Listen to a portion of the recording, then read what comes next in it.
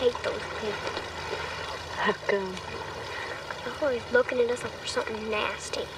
Well, they look at you the way you look at them. Look at it from the other side for a while. Maybe you won't be glaring at people so much. I heard you ran off to the carnival with a man. But I never heard you say one thing about him. How come he didn't marry you?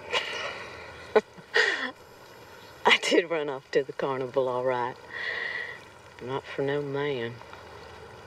I ain't never wanted to marry nobody. Like my life the way it is, little girl. Looks like you're gonna make yours out of pride, stubbornness, and too much anger.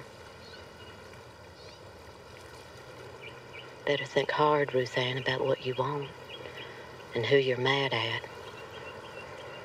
Better think real hard.